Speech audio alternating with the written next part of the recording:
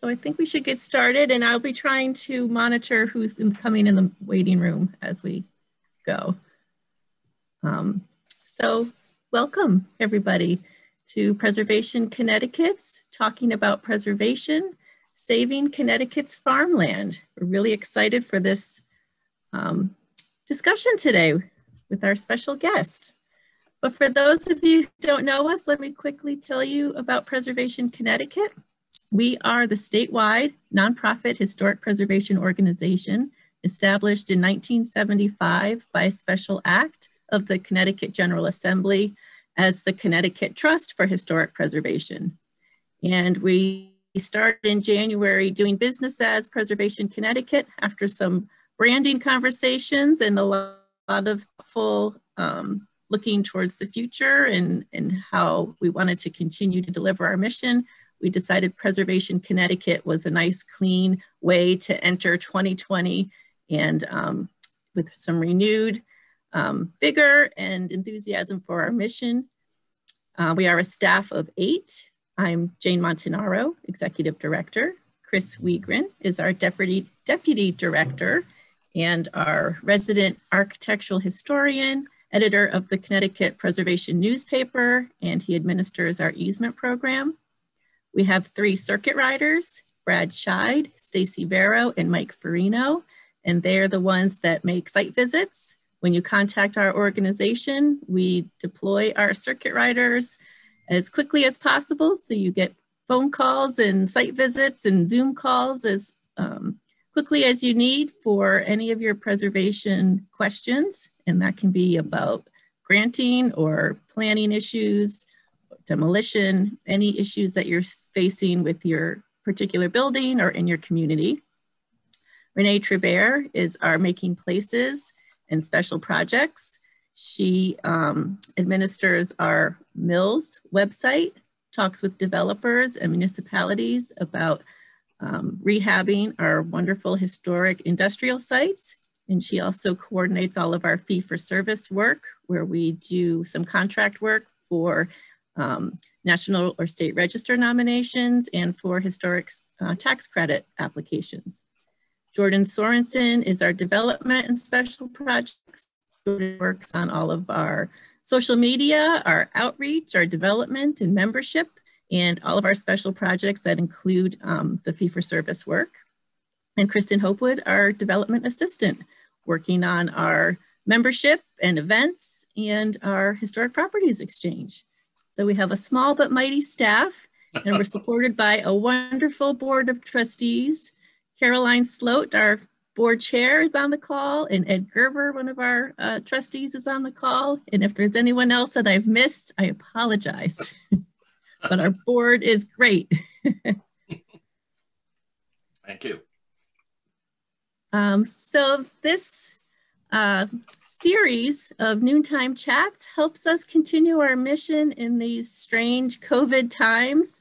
We are so used to being out in the community and talking with people and meeting. So this is a chance to bring some uh, educational programming to our audiences and, and introduce you to um, our partners and their work and also to hear from you and hear what um, questions you have and any issues that you have in your community that you'd like to uh, talk about or get some uh, extra help with.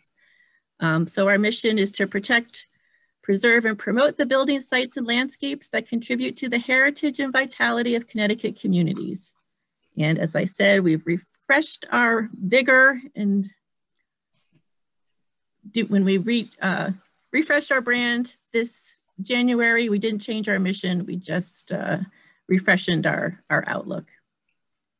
So let me advance one more. Without further ado, I will turn it over to Elizabeth Moore, Executive Director of Connecticut Farmland Trust. Great, thank you. I don't know how this works. Just so what what people are seeing, how does that? So they should be seeing your screen. That's the full screen? Yep. Because I'm just seeing a little, a little nugget. Um, so thank you. Um, thank you very much for having me.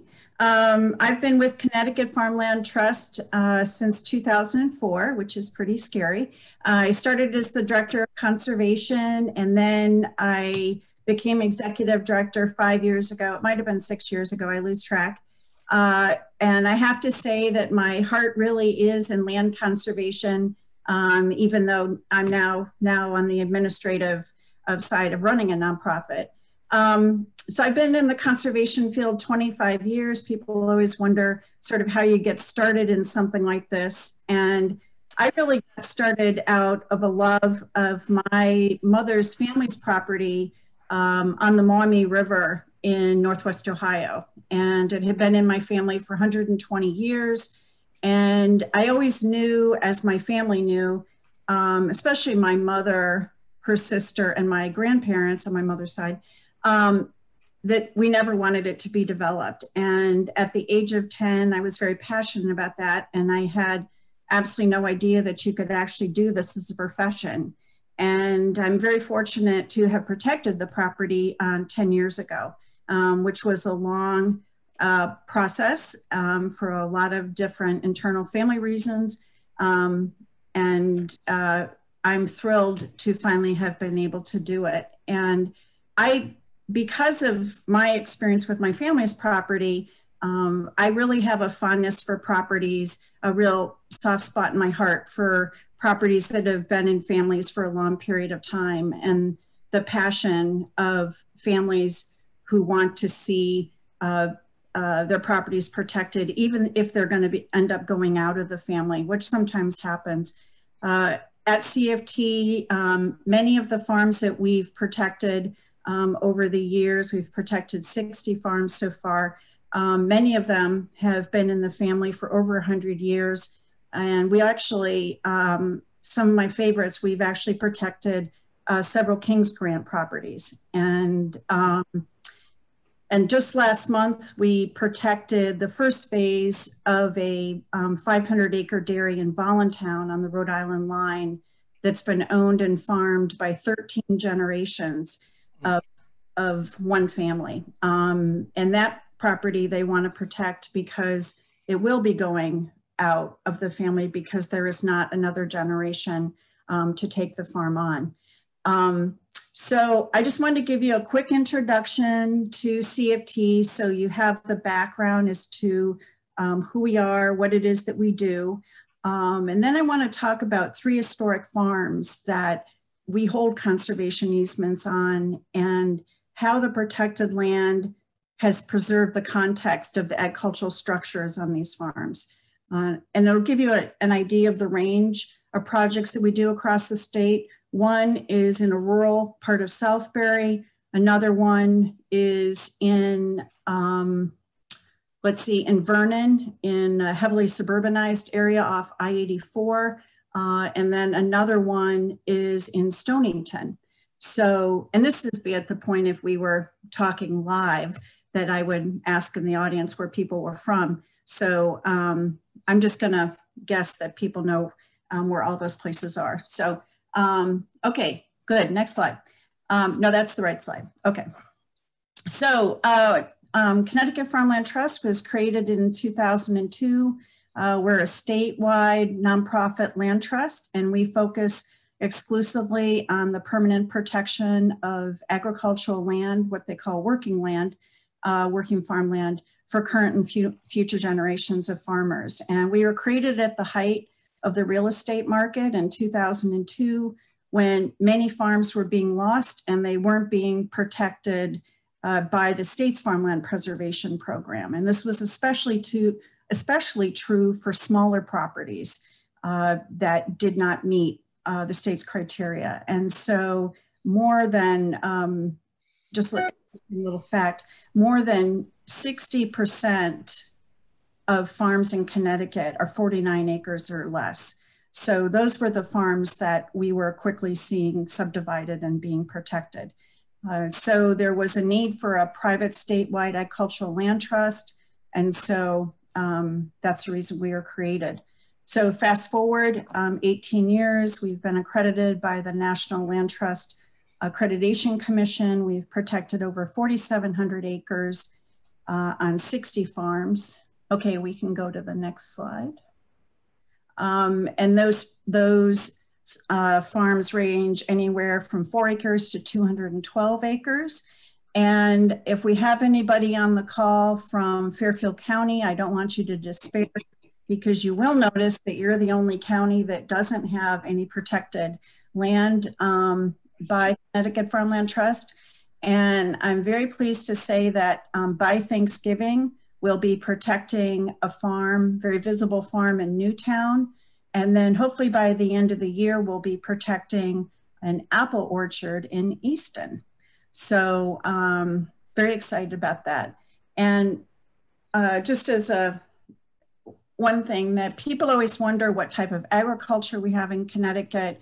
Um, we really have the breadth, everything from orchards, vegetables, um, dairy, meat, um, uh, ornamentals, um, really basically everything. And 92% of our farms are food producing, which has turned out to be um, especially important in the pandemic because we've seen many uh, people flocking to local farms for safety reasons.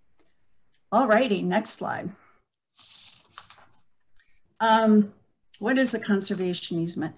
So this is where I'd, I'd, ask people to raise their hands if they know what you know if they know what one is, so we can um, just skip over it. But um, it's a legal mechanism uh, that permanently protects a piece of property. Uh, it's voluntary. Uh, it's also permanent, and that's something that um, we always like to emphasize. And it's all about keeping a farm um, viable and sustainable for future generations. Okay. Good. Let's see. All right. Um, the landowner continues to own the land. Um, they can also uh, lease it. They can sell it. Um, they can gift it. Um, all those things. They they are just um, selling or donating the ability to develop it. And the property can't be developed for a non-agricultural use. Uh, so there can be no industrial development. There can only be um, commercial, the only commercial development that can happen is commercial agriculture. No other type of commercial development can happen. Um, and the only residential development that is allowed is if it has been agreed upon in advance. For example, um, we sometimes have farm families that want to reserve a site uh, for a, an additional house for a child or something like that. And uh, easements can be sold or donated. Um, we, for whatever reason, have been seeing an uptick in donated easements.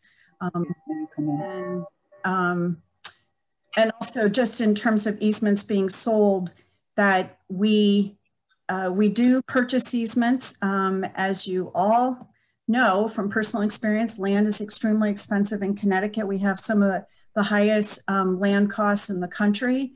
And so as I go through these projects, you know, we'll talk about purchase price just so you have an idea of uh, basically what a, a, land trust is up against when they're looking to purchase a conservation easement on properties. We do do bargain sales, which means um, we purchase at below market value, um, but uh, those don't happen that often. So, um, but we love all of our landowners regardless whether it's a purchase or donated. So let's see, what's our next slide? Um, so partnerships are key for the very reason that I said that land is so expensive in Connecticut. Um, it is it is more possible when that there are many different parties to take a bite at the pie.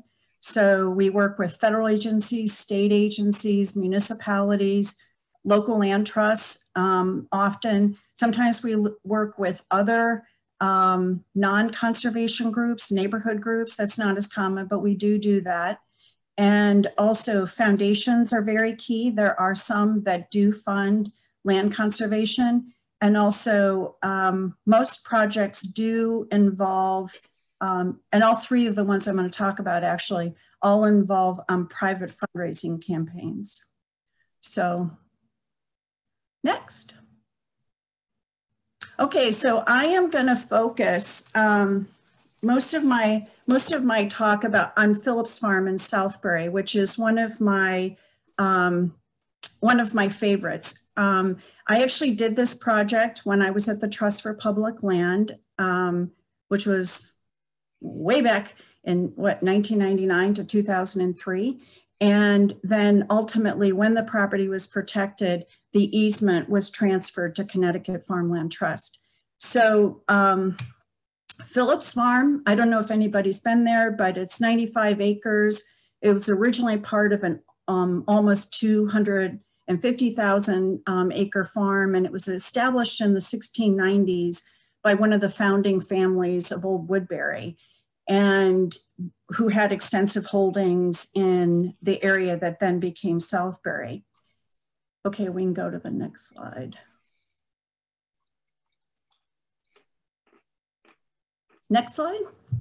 I don't know if it'll, okay.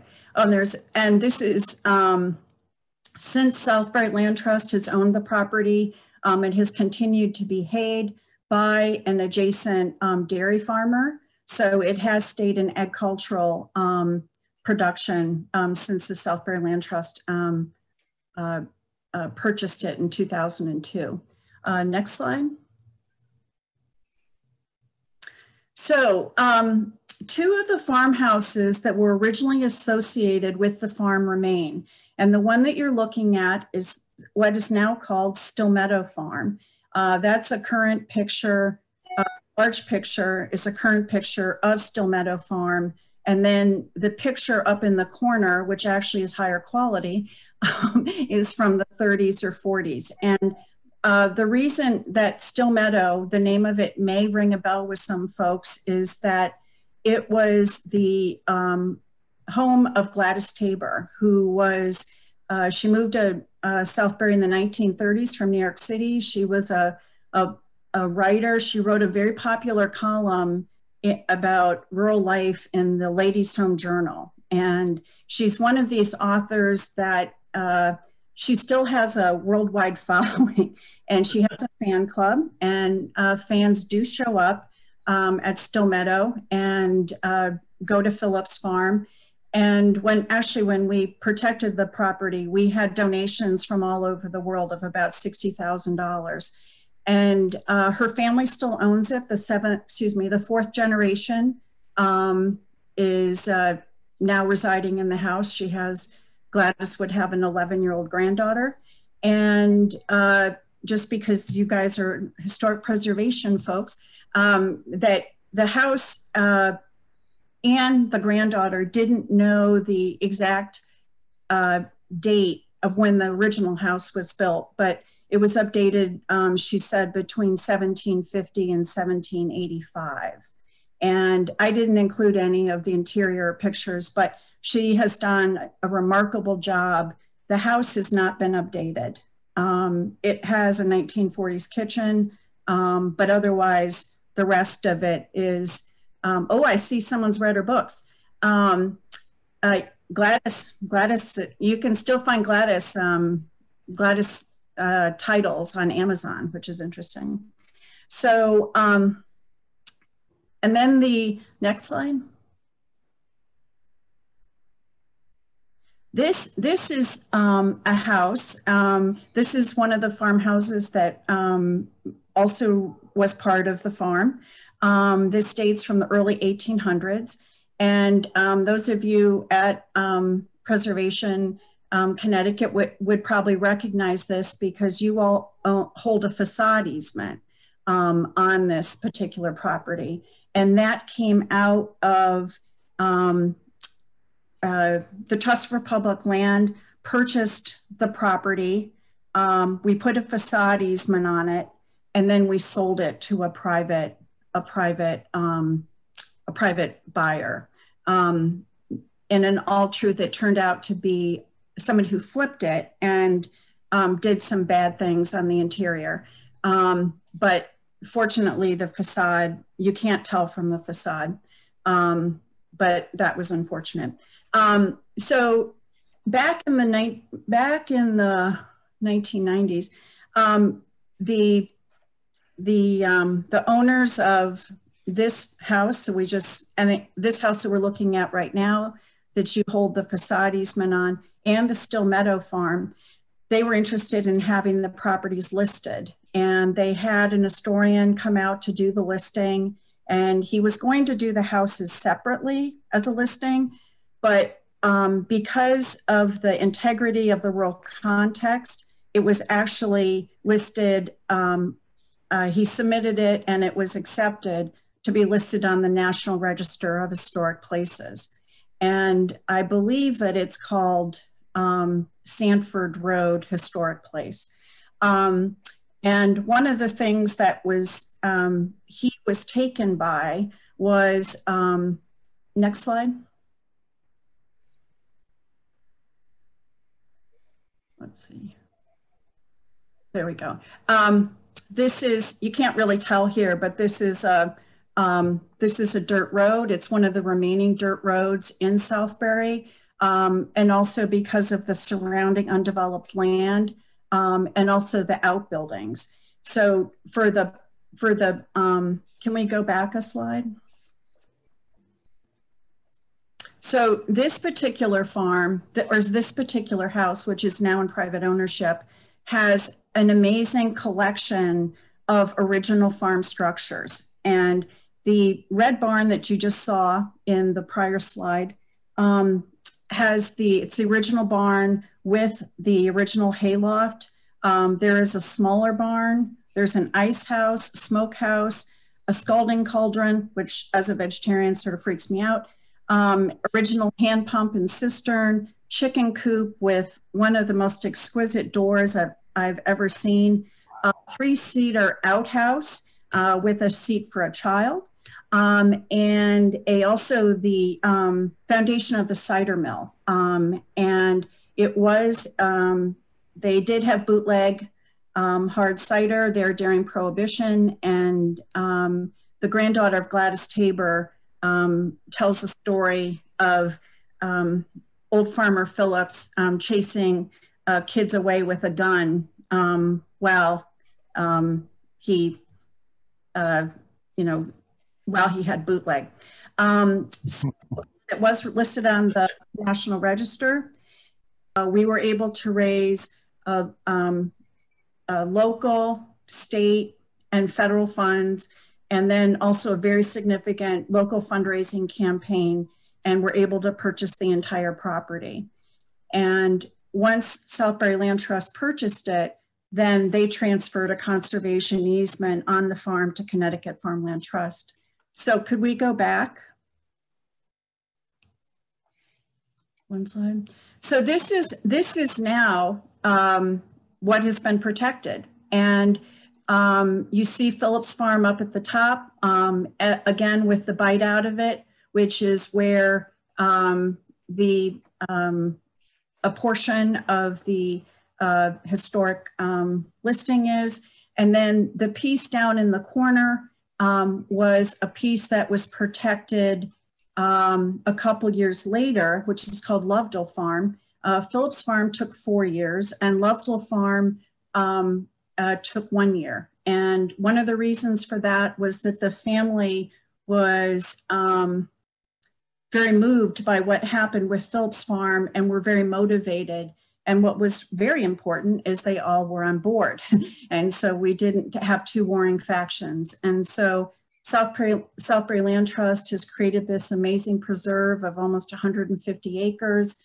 Um, if anybody um, hasn't been there, this is just a, a, jewel in, in Southbury. I'm obviously very biased um, because I help protect it, but it's one of the, my favorite projects and I've done over 75 and that's one of my favorites. And a neat thing to come out of the protection of this piece is not only the protection um, of buffering the historic, these historic structures, both residential and agricultural, but that it influenced the um, family to protect their piece and also um, that the town of Southbury, which had been very, very um, excited about using their asphalt trucks to pave all the roads in uh, Southbury actually decided um, that after this was protected, that they wouldn't pave any of their dirt roads.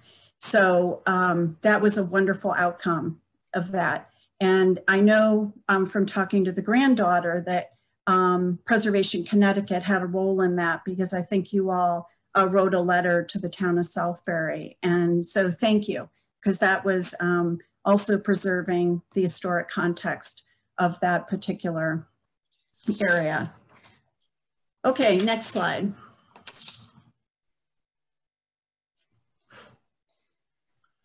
And then next slide. Okay, so we're going to move from rural Southbury uh, to uh, pretty suburban, though you can't really tell from this picture, um, Vernon. And Vernon, for those of you don't know it, it's right off 84. It's next to Tolland. I saw somebody ask that question. Um, this is uh, uh, this particular property is right in the center of town um, and is is highly visible and is much loved by people um, in town and everybody everybody knows it because of its iconic um, buildings. It's 51 acres. Uh, it was established in 1878 and it is one of the three remaining uh, active farms in Vernon. Uh, one of the two others we protected in 2016 called Gunther Farm, which is right on the Tolland um, Vernon line. Um, next slide. So this is the homestead of um, Strong Family Farm and uh, the original um, uh, house, um, farm, farmstead um, exists. It's seven bedrooms. And then down in the corner, you also see the original barn. And this is what Strong Farm is really known for is this very iconic uh, yellow barn. And, and that dates to, I believe, the early or the late 1800s. Uh, it's a former dairy barn. Um, it's been very well maintained and also Preservation Connecticut, I'm trying to think, maybe 10 years ago, um, gave uh, the family a grant um, to do some architectural um, studies on the property, uh, architectural studies on the barn before it was renovated. Um, so this one also has a very familiar story. Uh, patriarch died. Uh, the property went to his uh, children. I believe there were four, also to nieces and nephews. Um, pro-development, pro-conservation folks didn't come up with a um, an agreement on what they wanted to do. Developers were circling once the patriarch died. Um, rumors had it that they attended the funeral, which is not uncommon. Um, very desirable location in the center of town, um, high views from up at the top of Meeting House Hill, and as I said, easy access off 84. So um, the, let's see, next slide.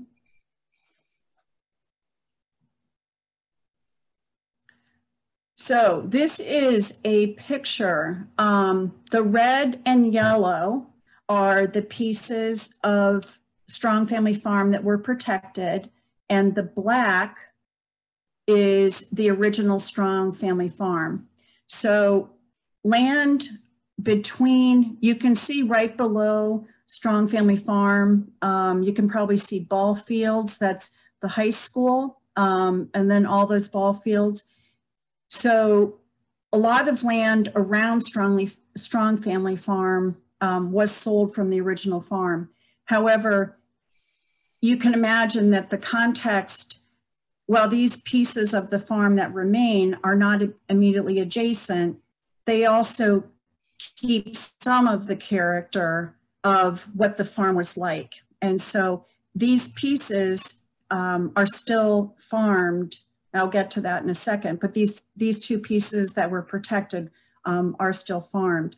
So what happened, it was really quite a remarkable story that a small group of, of neighbors who were concerned about seeing it protected put up their own money. Some of them put up their retirement funds and bought it for $1 million um, with the with the expectation that they would be able to sell it for conservation. So they're what is described as a conservation buyer um, or, you know, a manna from heaven, an angel. Um, we were incredibly fortunate because you can't, as many of you know, put together funding in uh, that quickly.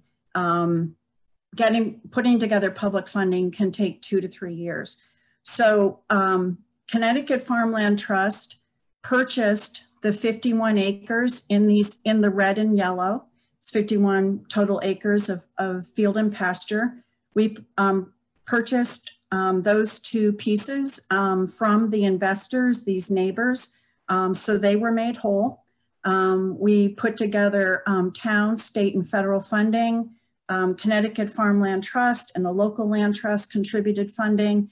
And uh, this is quite wonderful that 470 people in a townwide campaign contributed just shy of $50,000, 470 people. Um, the gifts ranged in anywhere from $5 to 4,000. Most of them were below 100. Um, I mean, that almost brings me to tears. I mean, it shows you how important this particular property was to the town of Vernon. So that property is now permanently protected and we transferred these fields that we hold a conservation easement on them. We transferred the fields to Strong Family Farm, which is um, a nonprofit which does agriculture and environmental education programming. They now own the original farmstead, which is outlined in black. We transferred the pastures and fields back to them for a dollar.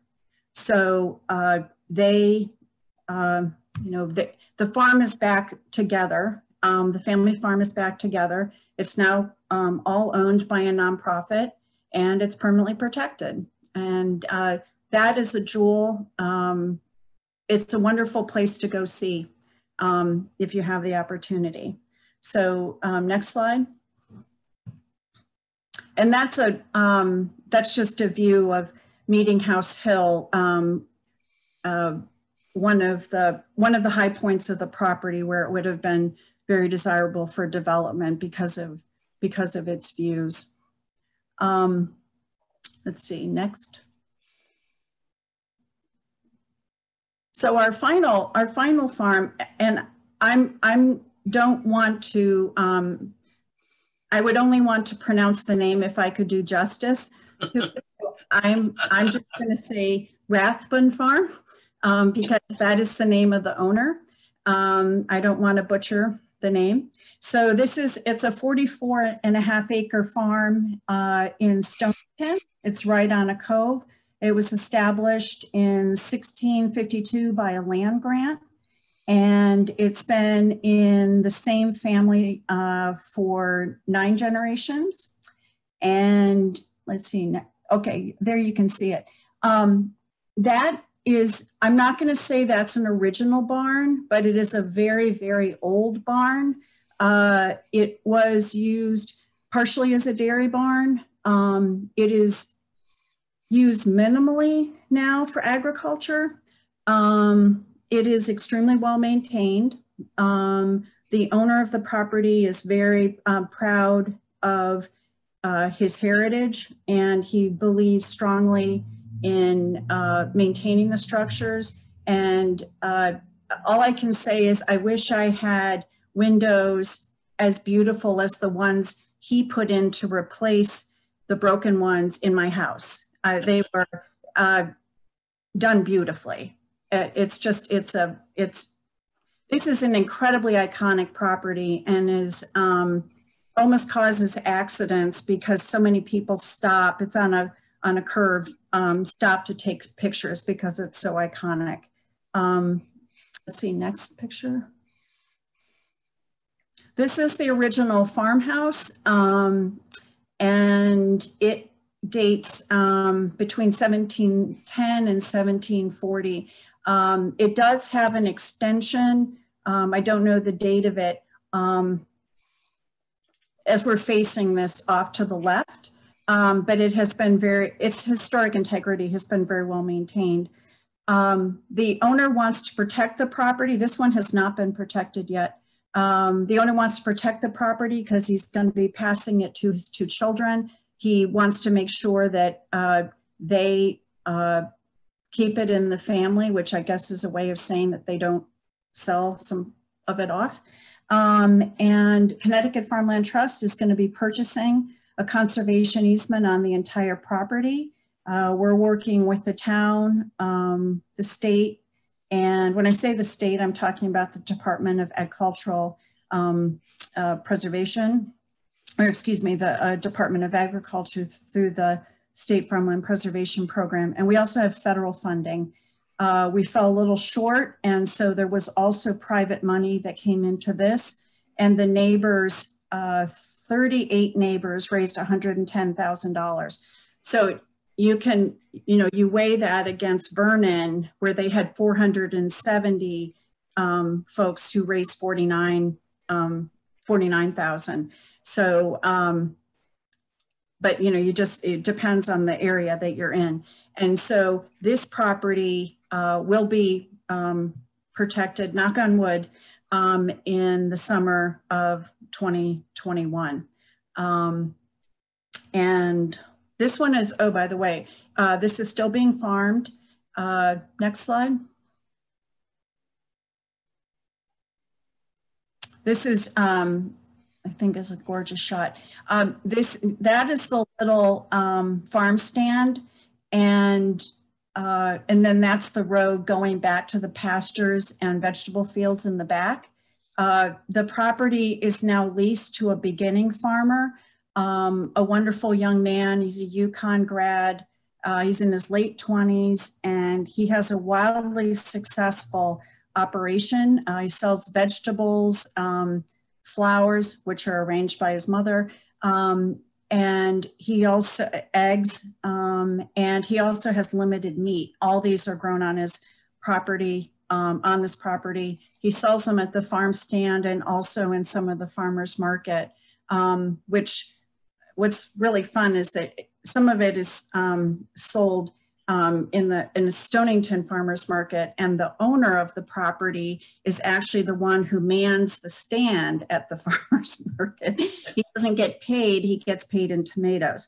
Um, and he has a, a long-term lease on the property. Um, so um, when the property does convey um, upon the landowner's death to his children, um, the young farmer will still have a lease there. Um, I believe it's at least a 25 year lease. So um, the landowner is um, has been a great um, supporter and uh, mentor um, to this young farmer. Let's see, is there another picture?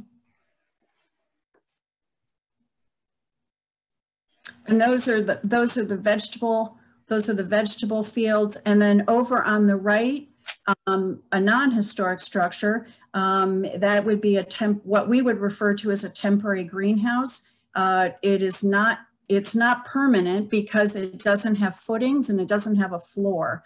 Uh, it's literally uh, a year-round tent uh, sitting on um, soil, and it's a, a very common um, it's, it's a very common, um, they're very commonly used by farmers um, to extend their growing season because they can um, start plants early and they can also um, sell things later into the season if they um, are growing them in one of their greenhouses that, and they also can have high tunnels.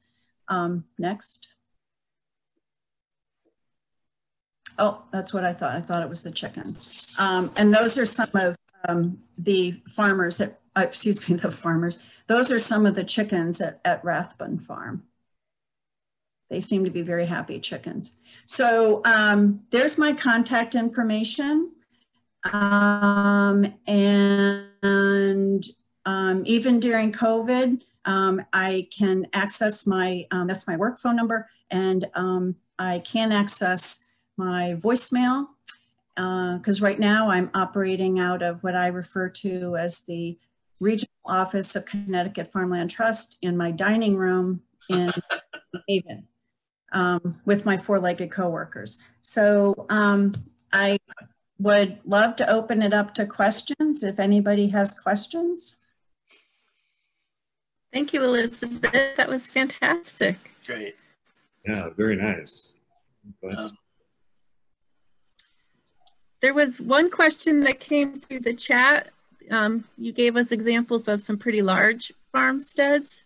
Do uh, Connecticut uh, Farmland Trust have easements on smaller parcels, like seven acre farms?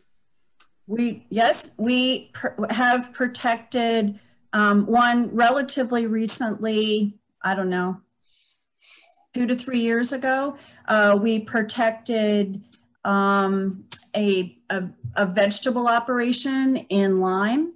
Um, it is uh, wildly successful.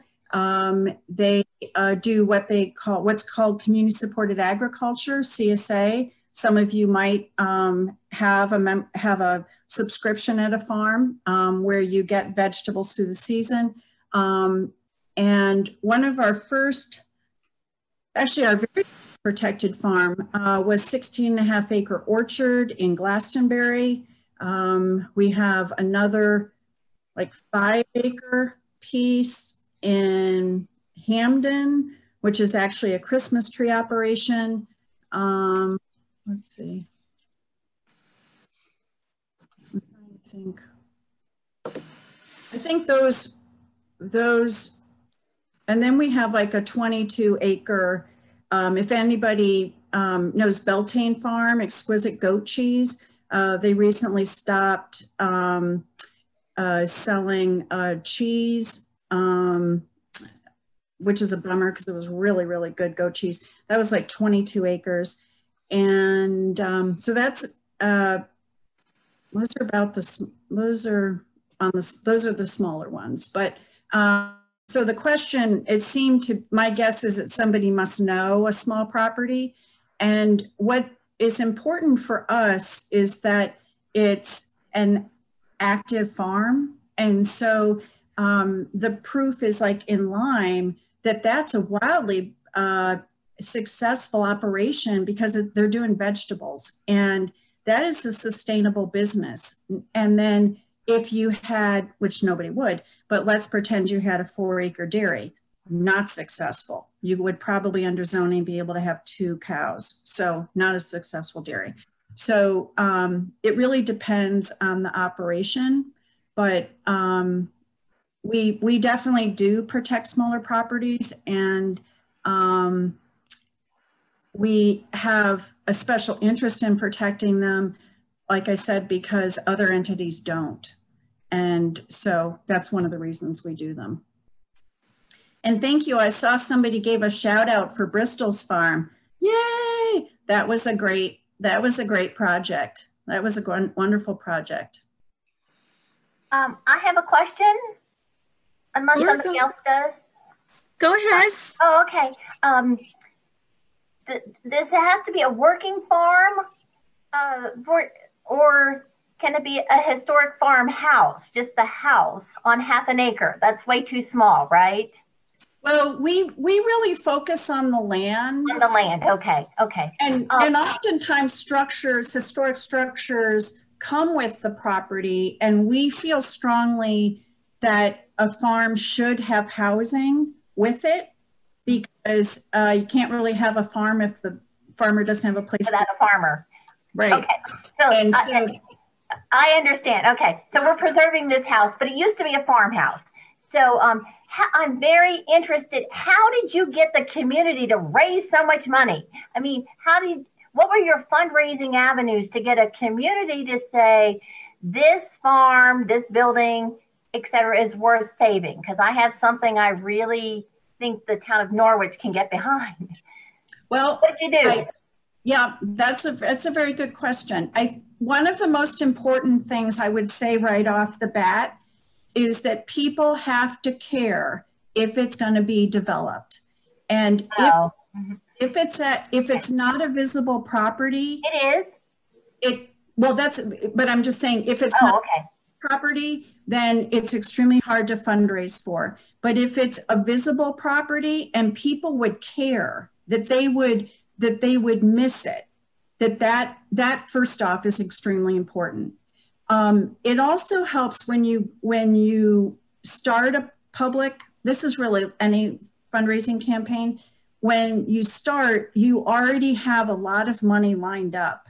And so when we went public in, in Phillips Farm, the one in Southbury, we already knew that we were getting state and federal funding, which was a huge chunk of it, a huge chunk of the 1.25 million. Um, we we were able to leverage that um, uh, guilt. You know, we we got the town on board for I think 250,000 as a result. So people like to get on a winning campaign, and so it's always good to start and being able to say, uh, you're going to close it out. You're going to help us get over, um, uh, you know, get to the finish line. So when you see those thermometers, you want it to be, you already want a lot of red um, and just that little bit of white to cover. Elizabeth, I'm going to write you an email because I really need your help and I don't want to take up more time. So sure, thank happy. you so much. Thank you. Happy to. Happy okay. to. Thank you. Great. Thanks, Nanette. Uh, Jane, do you hear me? I can hear you, Ed. Oh, good. I had a couple of questions. Sure, go ahead. Hi, where is she? now I'm looking at myself. Anyway, uh, thank you. What what a what a fascinating uh, uh, discussion. And you have the best photographer. I've never seen such a good-looking cow as we, we saw in one of those pictures. Even, even, even the way the rocks are displayed was, I mean, I have a stone wall, doesn't look anything like that. I need, I need help with that. And that, anyway, that's, uh, that's a farm to go see. That's a spectacular. Indeed, indeed. Um, do you have a list of the locations of your protected properties? Is that something that you make public? Yes, it's on our website. Oh, it is. Okay. Um, our website that's being revised, but it is, but it is on there. You'll see, you'll actually see the map that I showed at the very beginning. And then below that, there is a list of all of the farms. Oh, good. Thanks. And you can click on them and then it has details about them. Because some of them are, are open for, for people to walk, walk through, I guess. Yes, yeah, some of the ones that are owned by land trusts. Yeah. Um, uh, the ones that are owned by land trusts, uh, there's some in uh, Southbury, uh, let's see, Southbury, New Milford. Um, I should remember all this, but um, no, it's okay. the ones that are owned by land trusts are open for public access. Another one in Watertown. Um, those are open for public access. Um, they have walking trails um, most of the time on the perimeter of the fields or uh, in the woods. Um, and uh, Gunther, um, Gunther Farm in Vernon, um, Strong Farm in, Vern, in, in Vernon. And then the, the other farms uh, that have not been protected with state money, um, for those of some of you may know uh, the Department of Energy and Environmental Protection's open space grants. Um, those require public access. So the farms that have not been protected with uh, that money do not have public access.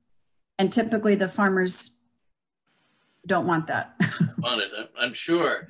Um, I, I, I, live in, in the, the area that had no, no activity, at least current activity Fairfield? with you in uh, Fairfield County.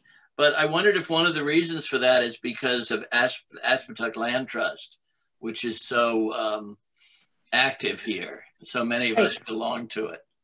Yes, that is a wonderful land trust, and they just bought Gilbertie's farm. Yeah, it's great. huge acquisition, very big. Um, well, I think there are really a couple reasons, and one of them is because uh, the land prices. To be quite honest with you, mm.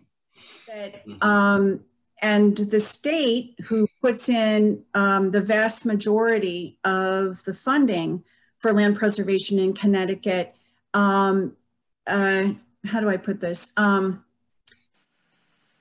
they're looking for bang for their buck. And, um, and I think in some ways, unfortunately, there's been a turn um, uh, um, that, that has um, um, not, not been good for Fairfield. Um, and uh, Easton, for example, as you may know, lots of little farms. Um, that's what we're protecting a piece right now. Um, and we're also, the, the other piece we're protecting is in Newtown. Yeah. A lot of agriculture up there. Um, the, the only stuff that's been protected by the state in Fairfield County is in Shelton. Uh, a fair amount in Shelton. Um, but the other thing is just because of the development pressure, because of the proximity to New York City, the farms, uh, there are few and uh, there aren't many, there aren't many viable farms is one of the, is one of the tricks. And so um, as you move, um, as you move closer to New Haven, um, that's when you're seeing um, more farms. But it, that's one of the, it's the, it's the cost it's the cost and it's also just not uh, uh, few viable farms, unfortunately. Right. Well, my, my last question is, do other New England states have uh, farmland trusts like yours? And are you a um, membership organization? Yes, we are. Yo, I love that. What a oh, great- Jane, I'm sorry I asked that question. um, yes, nonprofit. Um, yes, Maine Farmland Trust, wonderful, wonderful organization. Um, very, very good for anybody with connection to Maine. Um, Vermont Land Trust has uh, what has Vermont Land Trust, and a majority of what they protect is agricultural land. Um, that's a phenomenal land trust, one of the um, uh, best in the country, I would say. Um, New Hampshire does not have a statewide agricultural land trust. Um, Massachusetts has some very good agricultural land trusts um, in Western Mass, which strangely enough is considered anything west of the suburbs of Boston. But um, there's some very good agricultural land trusts out there. Um, Rhode Island, um, and they're very, very high prices land prices in Rhode Island. Um, there is not a statewide agricultural land trust. Thank you. Thank You're you. welcome. You're welcome. I saw somebody was interested in Gladys Taber. Oh yeah. Who is that? Tim, did you have a question? Oh, you have to unmute yourself. Uh, is that better? No. Yes, now we can hear you. Oh, all right, good. Um, in Enfield, my family has been uh, dairy farmers for six generations now. And my brother runs the, the farm at this mm-hmm. And uh, I've lived in New York and Los Angeles for the last four years, and I'm back in Enfield now. Uh, and um, the, my brother's farm uh, is just 22 acres at this point, and he has a herd there and his own mill, all this stuff. He does quite a I, bit there. But your now, brother is Mike. Yes. Mike Trinity Dairy. Yes, that's right. Yes. Excellent coffee milk. Yes. Oh, that's right. Yeah, that's very good. there is a property, a, a farm that borders uh, Smith uh, uh, dairy, and mm-hmm. it's now for sale. It's mm-hmm. uh, been for sale for four acres. My brother could really use that property, uh, mm-hmm. but um, they certainly want quite a bit of money for that one point. Uh, Is it on the road? Is it on Kings Highway? Yes. Okay. I know the property.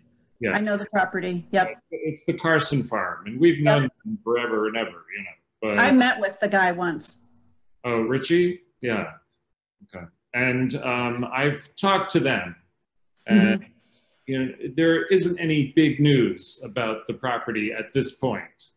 Um, because you know this is kind of a strange time to be thinking about buying a piece of property but um, i would like to see it preserved certainly as a farm.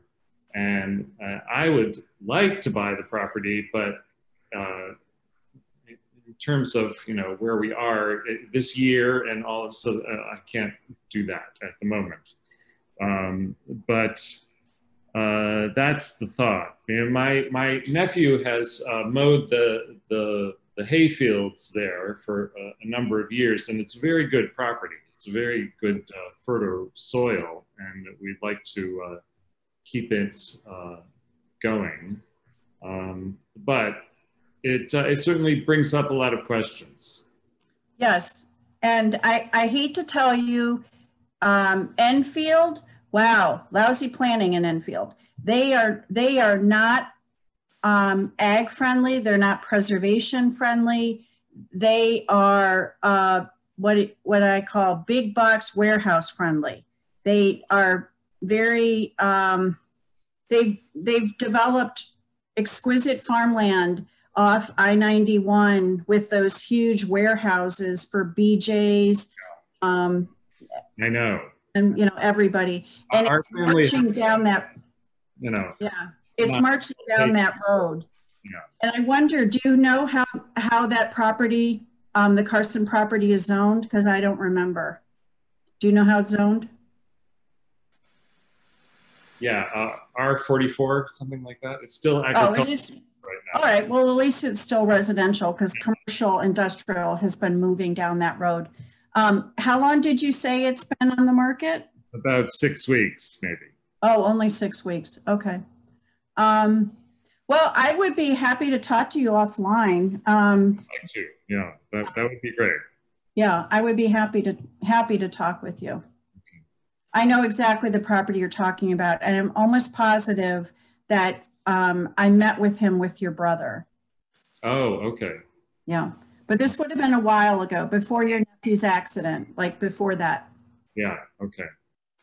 I'm also in the process of uh, uh, rehabilitating or renovating uh, a barn, a barn built in 1865 that is, uh, is not involved in this property, but mm -hmm. it's down the street on uh, King Street. And we'll talk about that too. okay. Yes, please call me. Please okay. call me. Thanks. I would love to see something happen for Trinity Dairy. I would love to see that happen. That would be great. Yeah. yeah. Great. Thanks, Tim. Keep that coffee milk coming. Okay.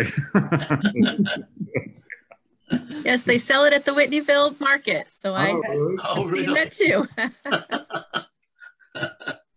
um, Steve Jones sent a question into the chat.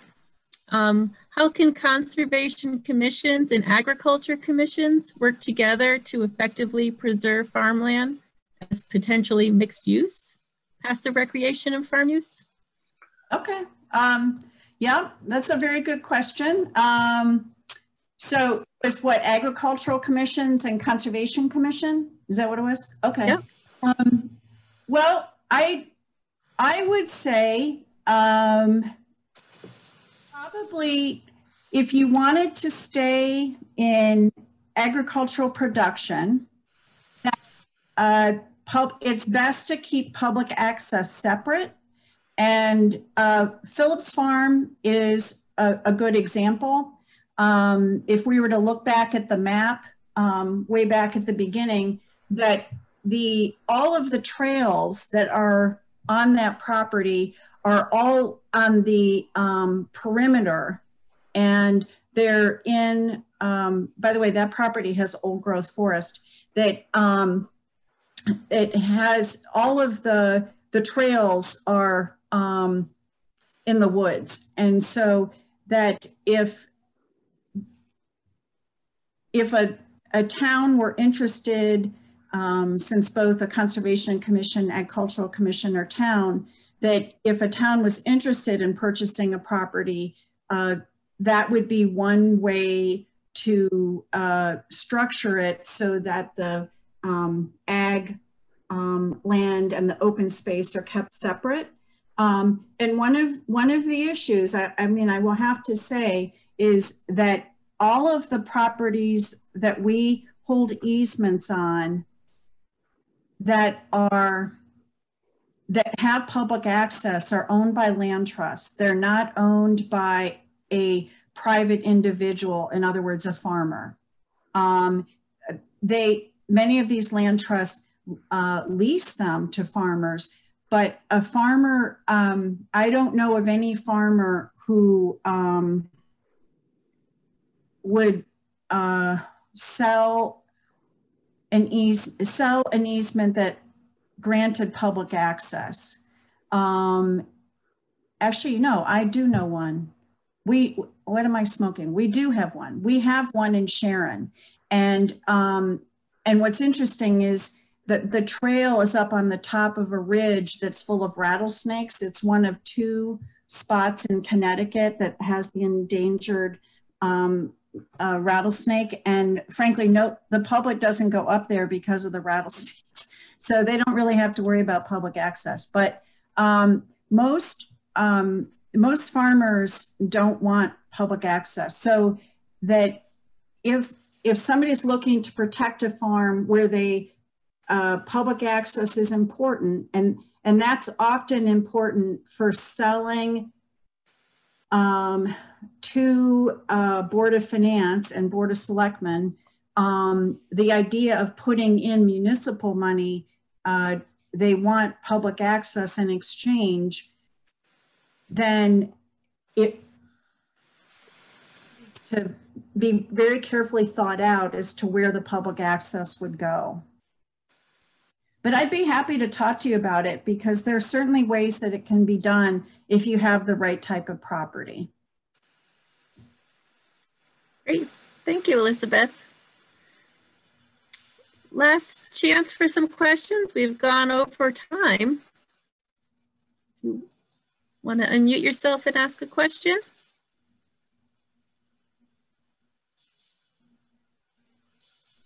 I just want to say really quickly, thank you for preserving the Lovedale farm because I grew oh. up two minutes up the road from that, and we used to get our hay from Mr. Lovedale. Is and that, I, that's Halls Hill Road, right? That, I grew up on Burr Road, right at the top okay, okay. of Halls Hill. Yep. And uh, we used to get our hay from him, and I remember him very fondly. So it's it's a great property. Well, thank you. I'm really pleased. I, I, I hope that you're a member of the Southbury Land Trust because they do uh, just spectacular work.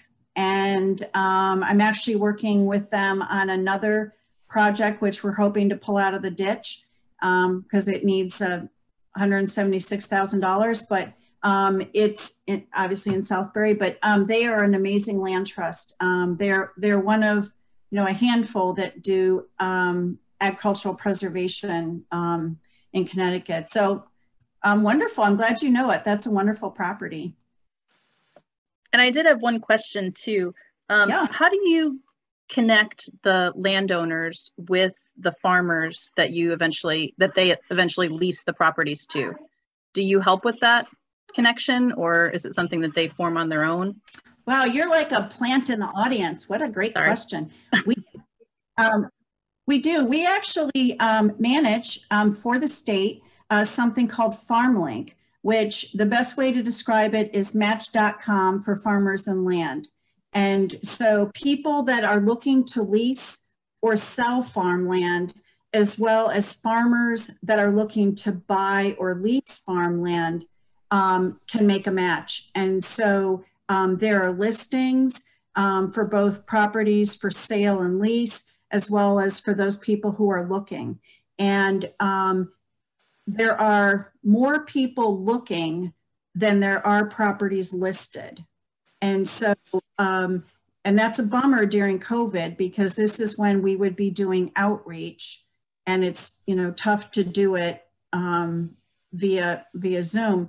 But um, that's our, that's what we're really focusing on right now is getting more listings on FarmLink, especially of properties that are looking uh, to uh, lease or sell, or landowners that are looking to lease or sell farmland. But it's called FarmLink, and um, you can find it on our website. Thank you. You're welcome. And thank you for asking the question. You're like a plant in the audience. just like the gentleman who asked if we're a membership organization. well, speaking of money, um, this would be a good time to make a plug for the Community Investment Act. Um, yes. Many of you might know that farmland, historic preservation, open space, and affordable housing receive significant funding from the state through the Community Investment Act. And that's a fee that's generated off of real estate transactions. And um, it's really important to make sure your legislators all know how much this funding impacts your communities directly through all of those four sectors. And we're always um, working with Elizabeth and our other partners on the Community Investment Act Coalition to make sure that the legislators continue to support this designated fund.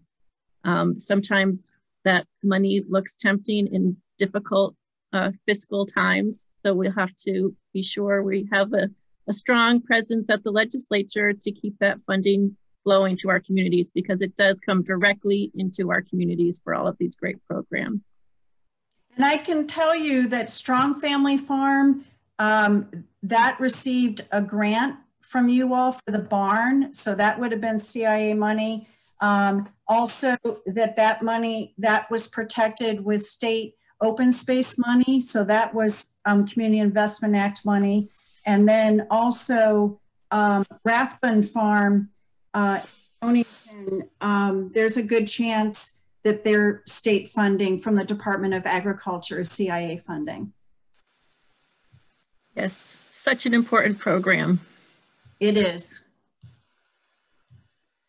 Well, thank you so much, Elizabeth. You're welcome. Thank you very much. And I am so happy that my four-legged coworkers didn't. it's rather shocking. So we will post this on our YouTube channel, a recording of this, and we can send out the uh, slide deck too as a PDF. There are some additional um, resources at the end of the slide deck that you might find useful. And next week, we're gonna switch gears and talk about mid-century moderns. Um, Jenny Scofield from the State Historic Preservation Office, Bruce Becker, a developer of the Pirelli Building in New Haven, and uh, uh, do I have? Oh, and Bob Gregson will be joining us as well. So we hope you'll join us next week and we'll continue our discussion. Thanks everyone for joining us and thank you, Elizabeth. Thank we'll you. you Bye soon. local. Bye local. Yes. yes. Bye all. Thank you. Bye. Thank, Thank you. you. Call me, Tim. Yeah, I will.